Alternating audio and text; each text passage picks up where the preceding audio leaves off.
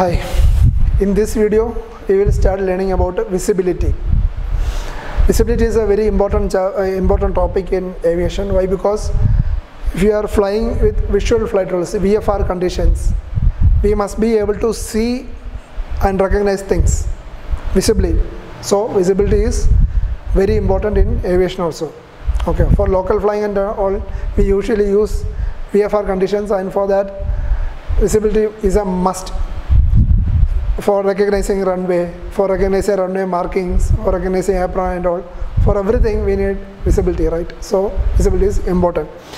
And what is visibility? In aviation, what is it? It is the greatest distance up to which we can see. The, the measurement of visibility, the greatest distance up to which we can see. And in our language, in pilot language, it can be like this the greatest distance at which a black object can be seen in a bright environment. The greatest distance at which a black object raised from the ground can be seen from a bright uh, background that is the visibility. Or it is the distance at which maximum distance from which we can see a, light, a lighted object of 1000 candela why we use that unit? Candela is a unit of light you know. So 1000 candela that is the standard unit.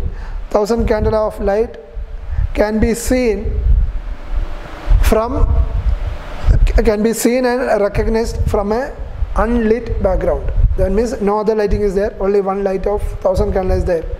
The maximum distance from which we can see and identify that light. That is called the visibility range of visibility. Okay.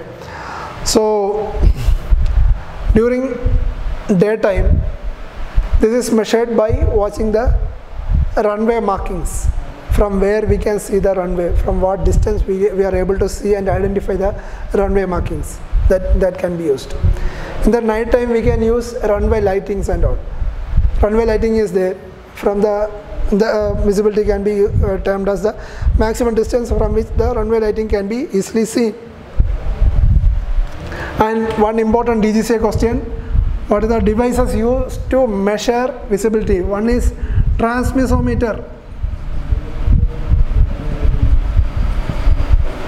then scopograph. And what is used to measure the runway visibility? That is called RVR or runway visual range range assessor RVRA runway visual range assessor. Okay these are the devices used to measure visibility. Okay transmissometer scopograph and RVRA runway visual range Asse- assessor. Okay RVR uh, is announced when the runway visibility is less than 1500 meter or 1.5 kilometers. If the visibility is less than 1500 meter RVR is reported.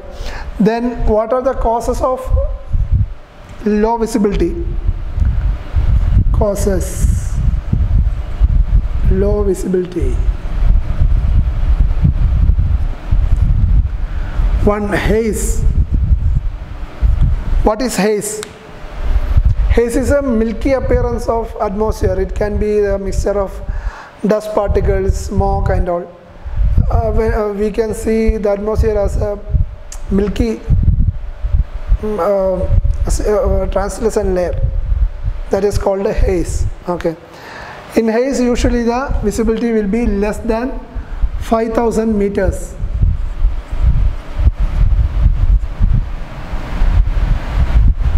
okay. 5000 meters or even lesser. Then comes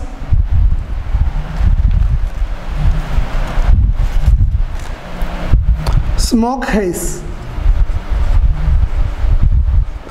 What is smoke haze? In industrial regions and where the smoke is more means when um, somebody is lighting something crackers and all. At that time the smoke will be present in atmosphere and the visibility will be reduced to less than 5000 meter. And what is the uh, reason for that? Carbon dioxide present in the smoke. That is when when it is hot it will rise up bringing the soot particles also along with it that gives a hazy appearance to the atmosphere and that is, that also causes less visibility and that is called smoke haze. Okay. Then comes dust haze. Dust haze. Actually this is an aviation hazard also dust haze. Dust haze uh, occurs when very small particles of dust are brought up to the air and it can go up to 6 to 8 kilometers actually. More than 6 to 8 kilometers it can go higher. And it, it can go up to a very large uh, horizontal ex uh, extent also. That causes what? That also causes less visibility. And it is all due to dust particles. That is a health hazard and an aviation hazard also. And then comes fog. What is fog? Fog is actually a cloud in ground level. We can say it as like that stratus cloud in ground level. Fog is something like uh, water vapor is there and it is also giving a hazy appearance. That is called a fog. We can see fog in northern India and in parts of West Bengal, Assam and all during winter season. And then comes the smog. Smog smog equal to fog plus smoke. It happens in places where fog occurs along with huge pollution also. In cities like Delhi and Mumbai, during fog, that fog disperses smoke also, industrial smoke also. Industrial smoke will also be carried along with the fog and that will be staying suspended in the air. That is a health hazard because when we inhale it, we can get respiratory issues. Then comes dust storm. What is a dust storm? We studied about dust haze. Apart from that, dust storm is also there. Dust storm. When storm like activities occur, cyclones occur, it can take dust along with that, and it and dust storms will be uh, giving a visibility of less than 5000 meter also. Okay. So that is also an aviation hazard. Then comes sea spray. Sea spray. When the sea is violent, when cyclonic activities are there, thunderstorm activity is there, then what happens is sea from sea, uh, the uh, salt particles and water vapor and water along with uh, um, some other uh, contents in the uh, sea can rise up in the form of a fog or spray. It, it will be very moist, very wet and it will be covering an region where the sea is there and it also causes less visibility and this usually affects when the airports are near to the sea. It can cause serious other issues also because it contains salt particles, particles also. That salt particles can cause corrosion to the aircraft parts also. Then comes rain, rain or precipitation, rain. Rain. This is an important cause of less visibility. Usually hear like due to less visibility, due to rain, planes have been di diverted to some alternate airports, right? So when there is moderate rain, moderate rain, then visibility will be around 1 to 3 kilometers. That means 1000 to 3000 meters. When there is heavy rain, it will be 1000 meters or lesser than 1000 meters. When there is snowfall, then it will be less than 1000 meters. When shower is moderate rain shower is moderate then it will be 1 to 3 kilometers visibility we can expect. When it is heavily raining then 1000 meters of visibility can be expected. When there is snowfall also then we can expect less than 1000 meters of visibility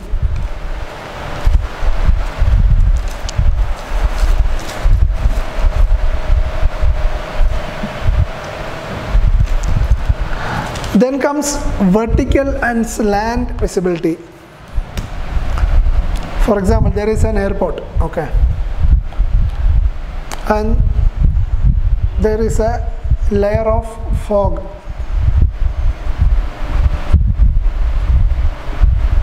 Okay, this is the runway region.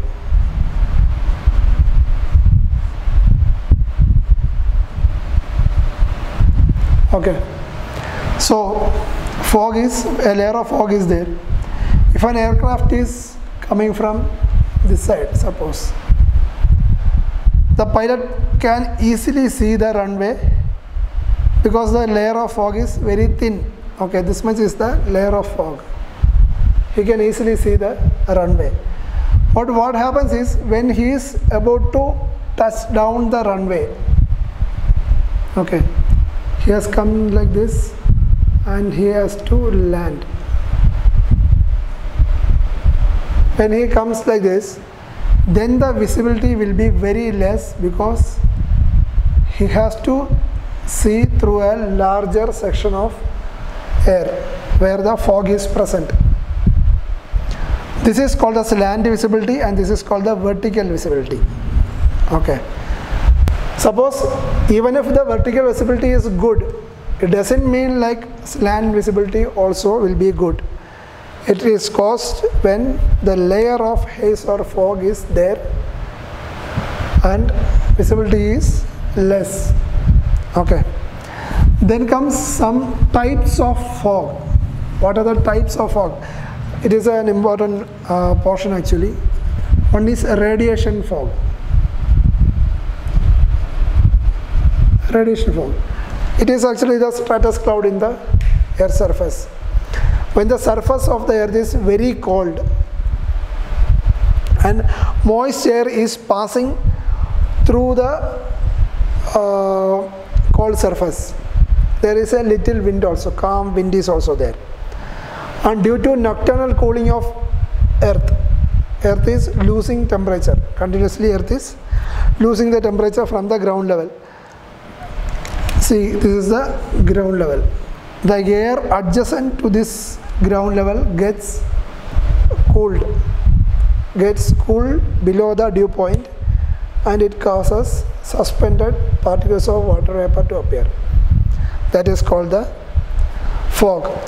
There are some conditions to be satisfied for the formation of radiation fog. One is clear sky. Why clear sky is needed then only the terrestrial radiation will be more and the earth will lose heat energy and then only the earth can cool up by itself. Okay. Then comes calm wind. Calm wind. If heavy wind is there it will simply blow up blow blow over the land and no fog can happen. And usually seen in winter season it is a winter hazard actually. Usually seen in winter. And then the most important part is high relative humidity. Because fog itself is a so, uh, suspension of water particles. For that of course we need high humidity also. If these conditions satisfy calm wind clear sky night time winter and high relative humidity then fog can occur. Actually fog is a delicate balance of these factors. So even if these things uh, can uh, is if the, the, if these things are prevailing we can't guarantee like fog can ha happen also. There is a delicate balance between this. And this is usually seen in northwest of india bihar odisha bengal assam etc okay. These are the places where we can find radiation fog during winter time. This is a winter hazard. It can ha- uh, it can cause accidents in roads also when the visibility is very less. Okay, then comes advection fog.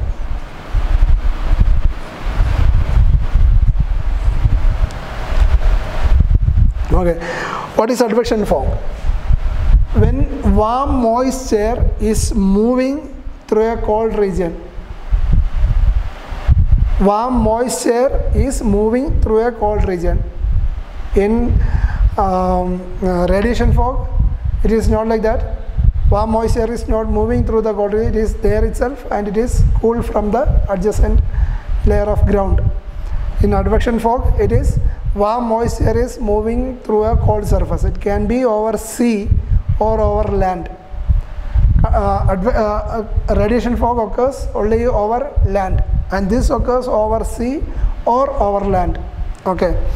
When this happens, some heat energy is transferred towards the land or the sea causing the foam to build up okay that is called the advection fog then comes steaming fog when super cooled air mass super cooled mass of air with moisture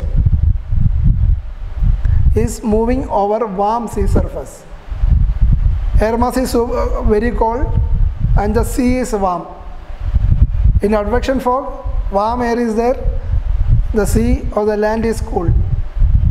But here in steaming fog warm air mass warm moist air mass is moving over sorry cold air mass is moving over warm sea surface.